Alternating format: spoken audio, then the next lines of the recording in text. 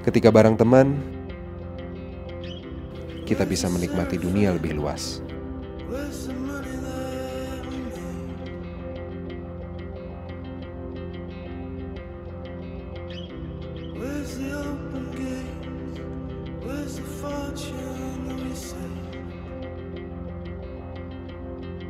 Saat sendiri, waktunya melihat lebih jauh ke dalam.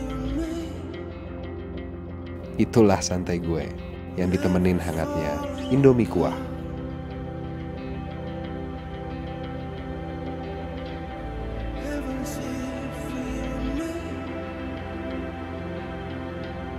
Indomie kuah bikin santai makin hangat.